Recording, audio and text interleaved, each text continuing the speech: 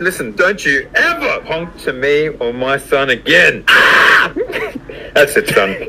That's it. He's still working on his siren, aren't you, buddy? There you go. There you go. Just had to let you know you're.